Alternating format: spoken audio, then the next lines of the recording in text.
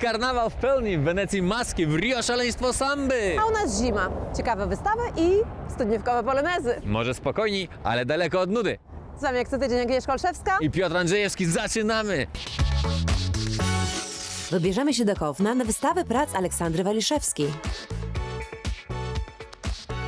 W Muzeum MO przyjrzymy się, jak gipsowe maski tworzy Gilles Kempenas.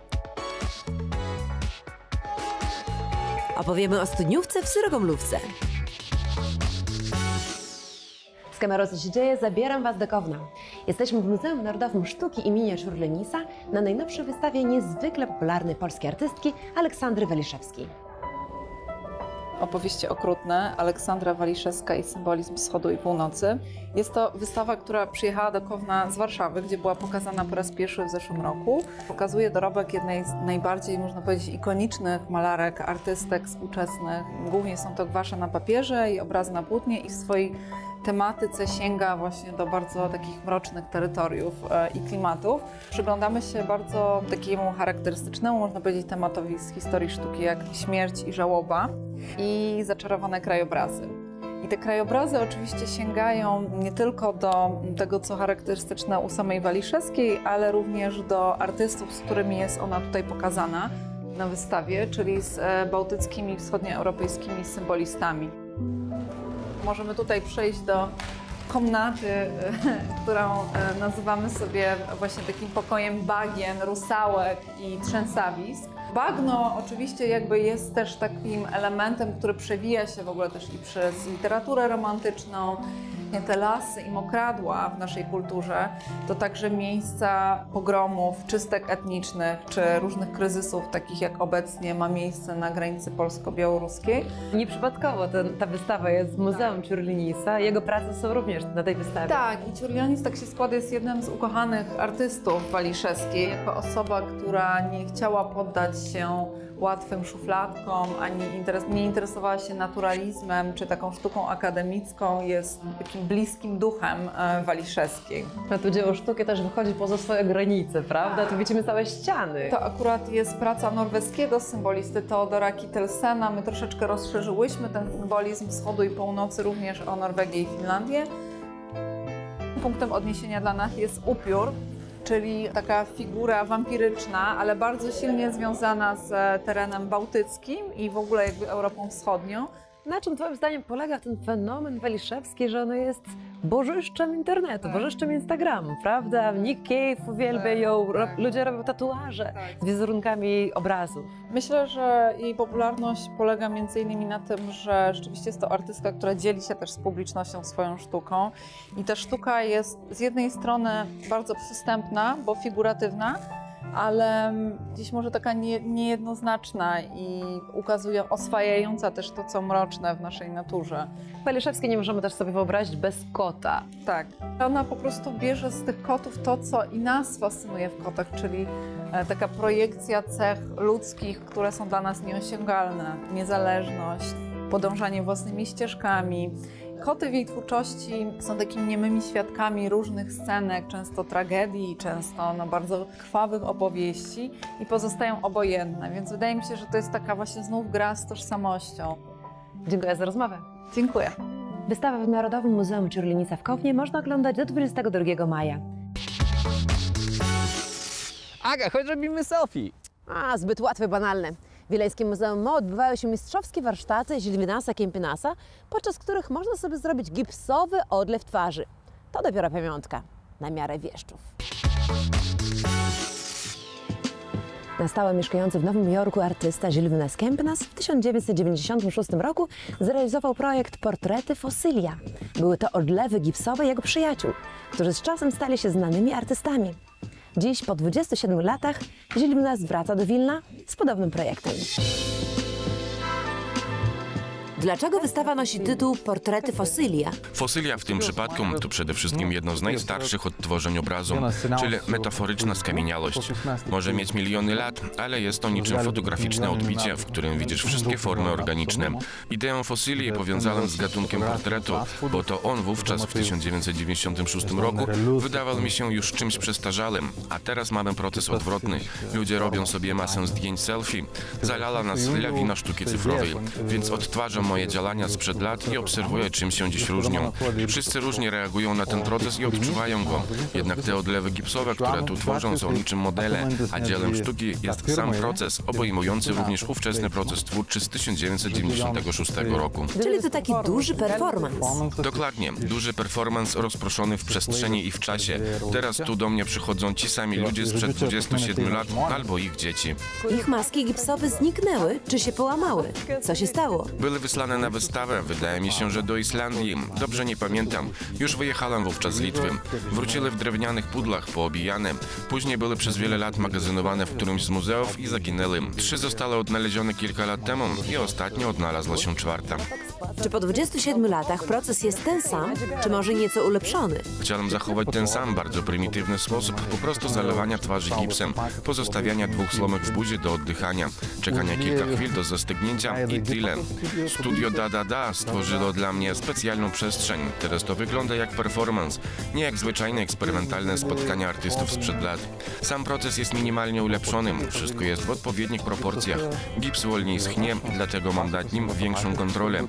No i używamy innych technologii do filmowania. Wiem, że wideograf był ten sam wtedy i dziś. Tak, ten oto film był nagrany olbrzymią kamerą przez Gintasa Smilgę w 1996 roku. Nie prosiłem go o to, wyszło to wówczas spontanicznie i dzięki temu, że znalazł ten materiał w swoich archiwach i że odnalezione zostały maski, powstał ten drugi projekt. Ciekawe jest to, że w takiej masce z gipsu zanikają kolory. Jeżeli masz wyraziste brwi, tu są blade. Włosy też nie dominują. Zostaje tylko owal twarzy i charakterystyczne rysy. Człowiek jest tu niczym obnażony. Ile czasu schnie taka maska? Chyba sporo. Około tygodnia, aż stanie się totalnie biała. A ja w tym czasie mam masę pracy. Retuszuję otwory w posłomkach. Od 15 do 20 robię odlewem, a następnego dnia koryguję małe defekty. Wyrównuję powierzchnię dookoła owalu twarzy, bo musi to być niczym obramowanie. Pracuję tu codziennie, oprócz wtorku i niedzieli, bo w te dni muzeum jest zamknięte. Jakie masz najbliższe plany artystyczne? Jak zwykle, wystawa i praca w studium, a latem w planach wystawa w Klejpedzie. Życzę powodzenia i dzięki za rozmowę. Dzięki. Maski będą tworzone do końca miesiąca, a ich wystawy można będzie oglądać od 2 marca do 6 sierpnia w Wileńskim Muzeum MOW. 17 lutego w Wileńskim Ratuszu odbędzie się koncert solidarnościowy na rzecz ofiar wojny w Ukrainie. Wystąpi polski klawesynista, pianista, kompozytor Stanisław Łopuszyński Stanley. Koncert będzie przeplatany opowieściami i prezentacją materiałów wizualnych ze wschodniej Ukrainy. Obowiązuje wcześniejsza rejestracja pod adresem mailowym kwietimas.instytutpolski.pl. Początek koncertu o godzinie 18. 14 lutego w stołecznym kinie Pasaka zostanie wyświetlony spektakl telewizyjny Dom na granicy w wykonaniu Polskiego Teatru Studio w Wilnie. Dramat Sławomira Mrożka w obliczu wojny na Ukrainie znowu stał się aktualny. Początek seansu o godzinie 19. Wstęp wolny. W Wilnie trwa czwarta edycja Sumieniek. To nazwa darmowej trasy autobusowej, którą w każdy weekend lutego można wyruszyć na zwiedzanie galerii i wystaw. W tym roku na trasie jest 41 placówek, które oferują darmowy wstęp lub zniżki. Darmowe autobusy Sumieniek będą kursowały do końca miesiąca. Palenie szkodzi zdrowiu i zdecydowanie odradzamy jakąkolwiek jego formę. Jednak śmiało możemy polecić wyprawę do wileńskiego Barbakanu na wystawę fajek, z których puszczali dymka mieszkańcy Wilna kilka wieków temu.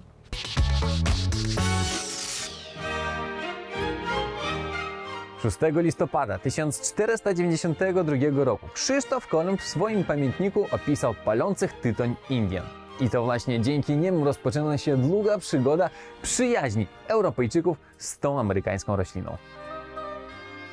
Witam cię, Atas. Cześć Piotrze. Czy prawdą jest, że do czasów Kolumba u nas nikt nie palił? Naprawdę tak było. Indianie palili już od tysięcy lat, a Europejczycy wcale nie znali tytoniu. Nežinau, kas tai yra tabakas. W jaki sposób spopularyzował się u nas? Nie był to taki szybki proces od pierwszej styczności i eksperymentów z tą rośliną do rozpowszechnienia się palenia minął cały wiek XVI.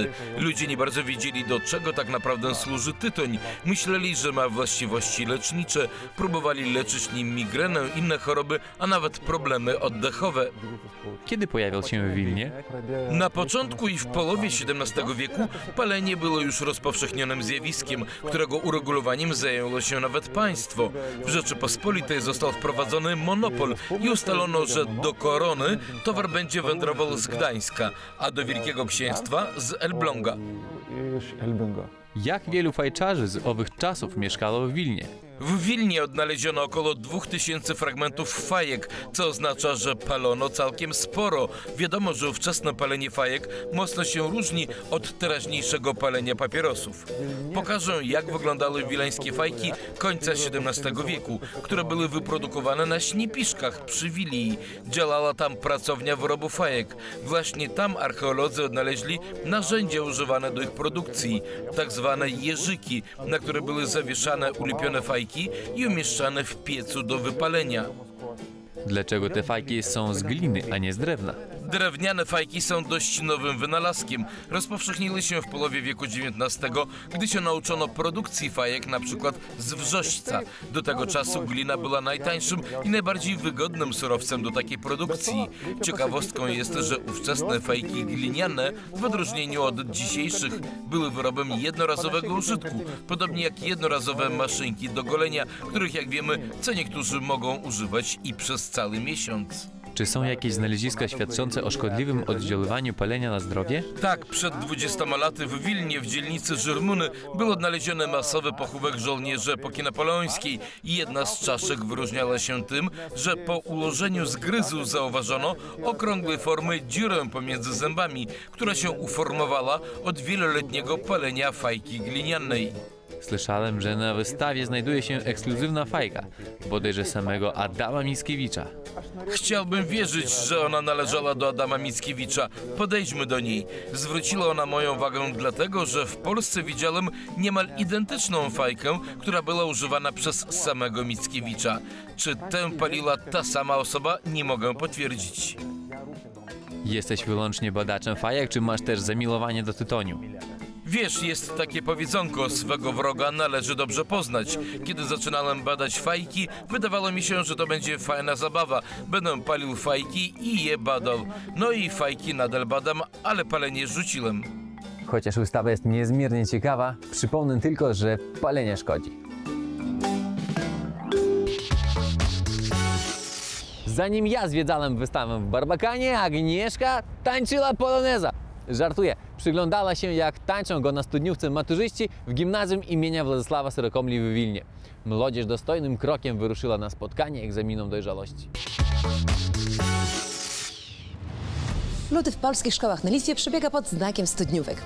Drodzy widzowie, zabieram Was do mojej szkoły, do gimnazjum imienia Władysława Syrkomli, a do tej szkoły konkretnie dlatego, że wygrała ona w plebiscycie na najlepsze zaproszenie na studniówkę TVP Wilna.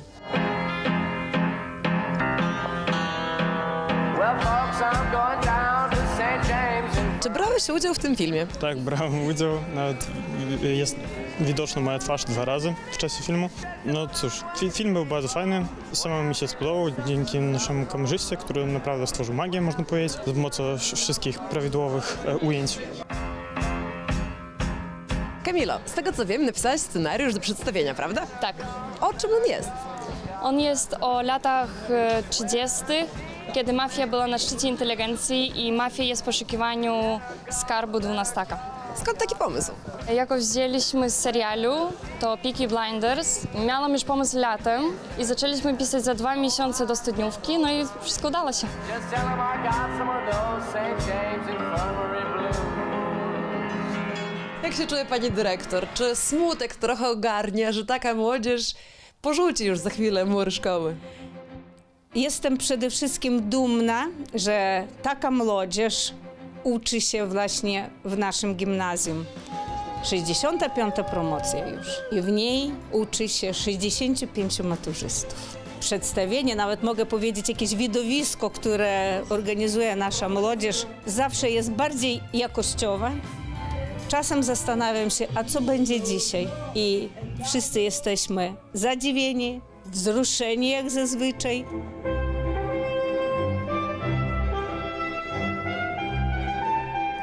Naprawdę bardzo wielka cześć tańczyć właśnie polonez, jako że wszystkie szkoły będą potem tańczyły na placu katedralnym i dla mnie też jest naprawdę takim bardzo ważnym symbolem. Czy Polonez jest tym tańcem, który jest we krwi każdego Polaka z Wileńszczyzny. Myślę, że tak, że utrzymujemy jakąś polskość tym tańcem. Ja również tak myślę. Każdy człowiek e, w sercu ma ten taniec polonez. 100 dni zostało do najważniejszego egzaminu waszego życia, do matury. Jakie to uczucie? Czekamy na to i mam nadzieję, że wszystko uda się i egzaminy będą dobrze złożone. Dziwne, ciekawe uczucia, mieszane, ale myślę, że to jest dobrze. Trochę miejsc takiej tremy i myślę, że jak koleżanka mówi, Patrycja, że będzie wszystko, wszystko jak po maśle. Patrycja, co, co planujesz studiować? No, najbardziej chciałabym medycynę. Muzyka, kosmos ciekawi, dużo, dużo różnych rzeczy. To znak zapytania jeszcze. Może pani widziała, jak ktoś z nauczycieli chował na tym dachu czy zakątku nasz skarb? Podczas przedstawienia maturzyści szukali skarbów. Mam nadzieję, że tym skarbem będą dobre wyniki podczas egzaminów, a do nich już tylko 100 dni. Trzymamy kciuki. Powodzenia! Finalistka muzycznego programu Czas na przebój na TVP Wilno Katarzyna Parszuta pochodzi z malowniczej miejscowości pod Jezierce nad jeziorem Korwie. Swoją najnowszą piosenkę nazwała Lustro, a myśmy się wybrali do Podbrodzia, gdzie jest nagrywany teledysk do jej debiutanckiego utworu. Aby dowiedzieć się, O jakie lustro chodzi? Tytułowe lustro w piosence Katarzyny Parszuty to metafora spotkania człowieka ze swoim własnym wnętrzem. W teledysku pojawiają się demony, które symbolizują różne wersje tego samego człowieka. Spójrz mi w oczy tak jak w lustro, znać siebie w nich i zobacz ile zostało w tobie. Piosenka ta jest o spotkaniu ze sobą, o tym, że człowiek czasem musi się zastanowić, co w nim się dzieje, jakie emocje panują. I w tej piosence mówię o tym, że człowiek przeprowadza powiedzmy taki lekki rachunek sumienia i spotyka, można powiedzieć, alter ego. Ja bym to nazwała takimi wewnętrznymi demonami i rozumie, że od człowiek, człowiek sam od siebie uciec nie musi, musi się spotkać i przyjąć siebie takim, jaki jest. Kasia od kilku lat bierze czynny udział w działalności Centrum Kultury w Podbrodziu oraz współpracuje ze studiem Uphill 7, również działającym w tej miejscowości. Ekipa do nagrania tego teledysku i stworzenia piosenki jest dla mnie bardzo bliska i bardzo miła. Jest to studio Uphill 7 z Podbrodzia. Są to młodzi chłopcy, chłopaki, którzy naprawdę z serca robią, wykonują swoją pracę. Jest to Karen, któremu zawdzięczam muzykę do piosenki oraz Leonard, który się zajmuje wideografią. Kasia przyszła do mnie już mając pomysł na muzykę. Zaczęliśmy wspólnie ją aranżować i wszystko samo bardzo spontanicznie się stworzyło. Gdy przygotowałem beat i aranżację, spotkaliśmy się na nagranie głosów i wówczas spadliśmy na wiele wspólnych rozwiązań. Nagranie harmonii głosowej, przez co utwór stał się bardzo jasnego brzmienia.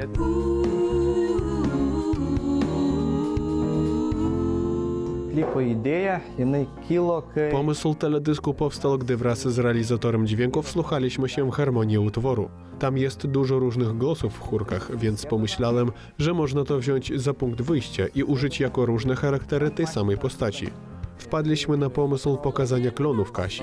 Dwa tygodnie temu rozpoczęliśmy pracę nad zdjęciami w Centrum Kultury w Podbrodziu, bo mamy tu dużą przestrzeń w piwnicy, która nam idealnie pasowała. Jeszcze czeka nas dużo pracy przy montażu, gdyż filmujemy improwizując, ale zdjęcia już powoli dobiegają końca. Spójrz mi w oczy tak jak w lustro, znać siebie w nich i zobacz ile zostało w tobie. Z takimi ludźmi bardzo mi się przyjemnie i dobrze pracuje. Podoba mi się, że wszystko się dzieje ekspromtem, płynie swoim rytmem. Teraz pozostaje tylko z przyjemnością czekać na końcowy wynik. Będzie bardzo miło to oglądać. Lustro to pierwszy autorski utwór wokalistki. Róbmy swoje, róbmy swoje, może to coś da tobie. To jest realizacja moich dawnych marzeń, bo od dłuższego czasu wykonuję piosenki innych, natomiast jest to moja pierwsza piosenka autorska i w takim wykonaniu i z takim teledyskiem dla mnie to jest duży zaszczyt, że tak będę mogła się dla publiczności pokazać. Prace nad teledyskiem trwają. Premiera Lustra zapowiadana jest na 4 marca.